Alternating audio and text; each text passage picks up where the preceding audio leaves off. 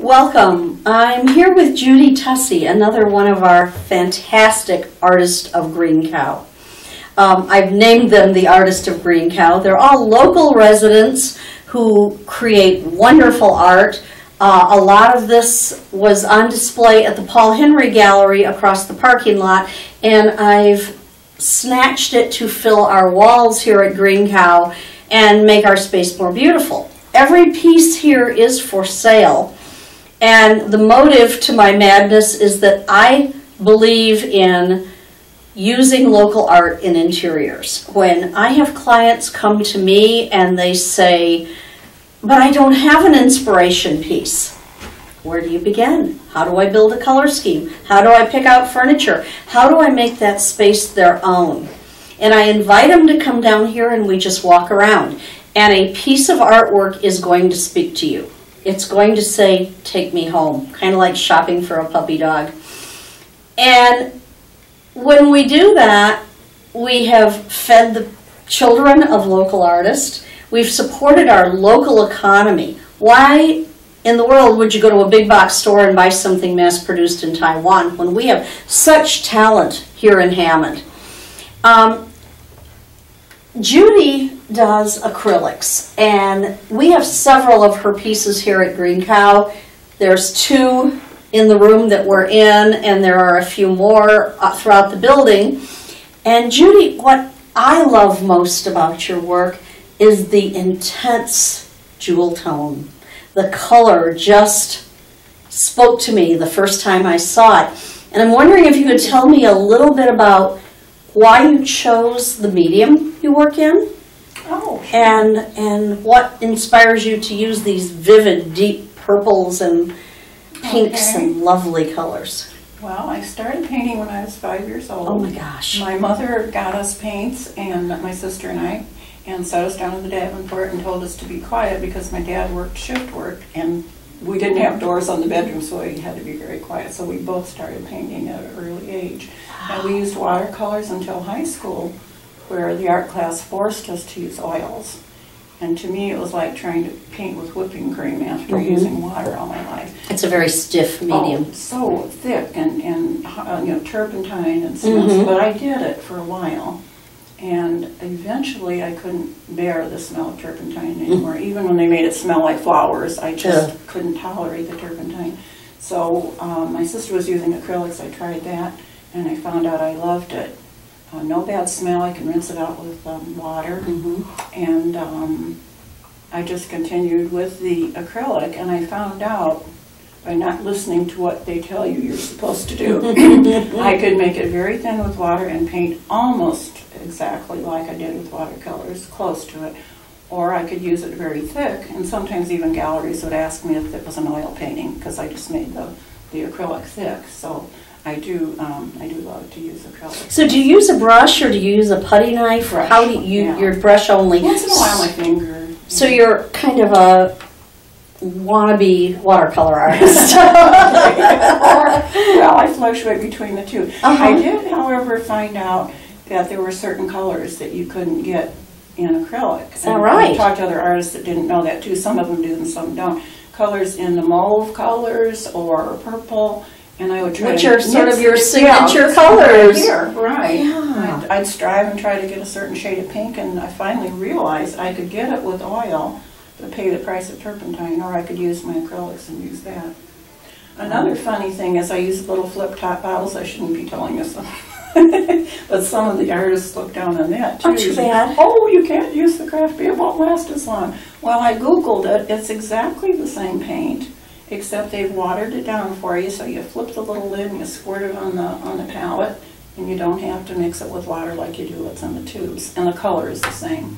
So. Um, Judi, do you have formal training other than high school art and your Um, mother's Davenport? I, that was good training. I uh, did start out at the Art Institute of Chicago, which I loved dearly. Very good school. But I loved my fiance more, so we got married and I didn't continue on at the Oh. Art I did have enough teaching there that I think helped me along the way.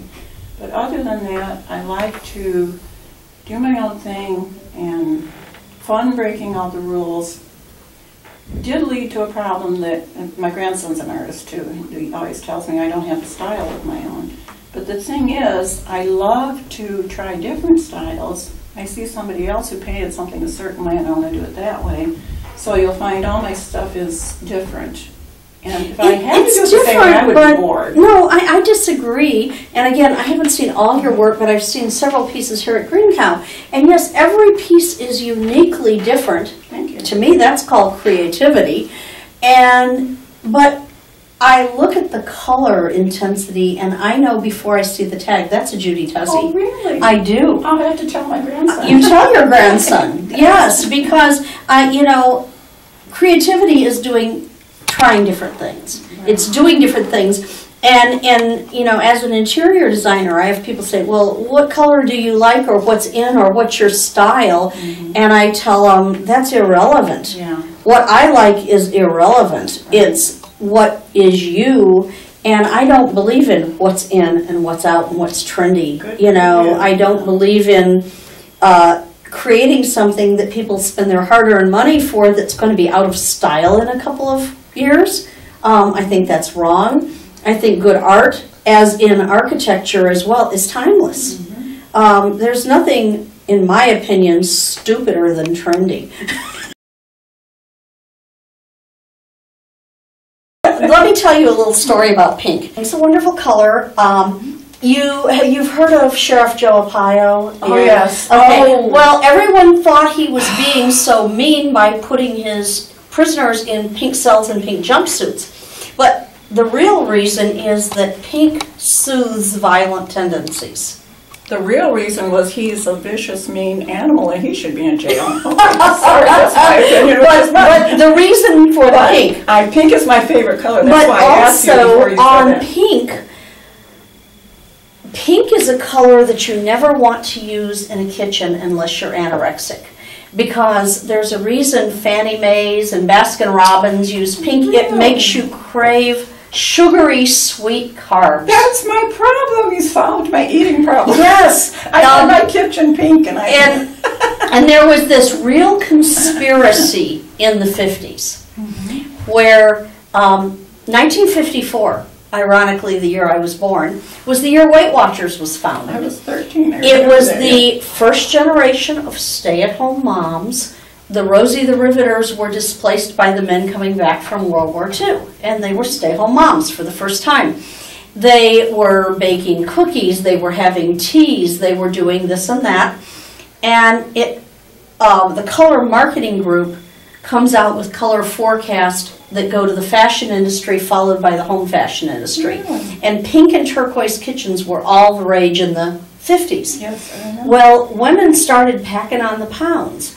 And so they pushed that color the rj reynolds tobacco company oh. pushed that color choice because then they came back and said have a cigarette instead of a cookie. Because up till then hmm. men smoked but women didn't I did. prior to 1954 you were 13 Uh, Right at 1954. Well, that's why. Exactly. But anyway, it's all this conspiracy. But they always say that a pink kitchen will make you want to bake things Oh, really? and Okay. eat sweet stuff. So, sweet you know, reserve pink for the bedrooms and the family rooms and the places. My kitchen not pink and preparing food. butterflies in it, and I eat Oh. cookies all the time. That's my problem. But the reason I asked you about pink was when, when I was a little girl, pink was my favorite color. Then I Uh-huh. branched out to pink and blue, and now it's more lavender and pale turquoise. But I said that to an artist friend one time. The pink and blue is my favorite color. I'll never forget this. She was so serious. She looked at me and said, "You're an artist, and your favorite colors are pink and blue." condemnation without having to say anything else. I said, I didn't know there was a rule for my favorite colors, but yes, I'm sorry they are. Well, you can see they get Yes, thrown into they're everything I do. intense, and I love them. And as someone who was trained, you know, with the color wheel, where there's Mm-hmm. three primaries, there's the secondaries, there's the tertiaries, I have a problem with. There's no such thing as mauve. It's a gray paint. you know, it's a grayed down red with a little white mixed in. I, I see everything in the proportion and scientific blend. So to me, a pink is simply a red with a white. It is, yeah, unless you put in some blue. then it becomes a um, Different the violets, Orchid, lavender. orchids, lavenders, Yeah. and I love And I love that. I absolutely and color can change your outlook. Oh, yeah. Color can really determine how your energy levels. And and as the piece of artwork in your space can determine the way you feel about going to work or going into your bedroom or going wherever you're going. Uh, It's interesting that you're a decorator because several times I've had people ask my advice because I paint. And when it comes to rooms and a whole big space, I don't have a clue. It's just not in the same place in my brain to know how to decorate a room right. Well, I think we all have our gifts. And that's, that must Um, be. everybody does something different, Yeah. and thank God for that. I think a key to balance, life balance, is mm-hmm. knowing what you do well and knowing what to delegate. I love art. I loved art history. I know good art when I see it, mm-hmm. but I don't paint. I love music. I appreciate music, but I don't play. I'm an idea person and I'm a delegator. I know how to pull it all together. That's great. And um, I love these pieces. They just, they make me comfortable. I think that's the word when I first saw your art. Oh, They you. make me feel comfortable. I do a lot of animals and a lot of beaches, and I think that it shows that I love animals. That's one of my purposes beyond just painting a pretty picture is I hope to share with other people the way I feel about animals and make maybe make them more sensitive to the fact that they're more like us than people think that they are. Mm-hmm. And, and then I just love the beach, so I painted a lot too. You spend a lot of time at the beach. Oh yeah, I go summer, fall, winter, and spring. I have some winter paintings, but I found out from one gallery owner that people really don't want to see the beach with snow on it. They'd rather have the sunshine and the trees Oh, and the oh, sun. why? I think that's There- I've sold a few with snow on it, but she, she's been selling art at the beach for years, so she said the ones in the summertime sell. Well, maybe that's because her customers are there in the summertime and people don't Could come into her shop in the wintertime if be, she's a beach yeah. shop. Yeah. But I just think there's nothing more majestic than, you know, the white caps on the lake when the sky is gray and overcast. My summer home is close to Lake Superior. oh, And to me, that's probably mm-hmm. one of God's most magnificent creations. And there's nothing I like more than just watching the, you know, mm-hmm. the energy, the fierceness of it, that it's so much bigger than we are. Yes.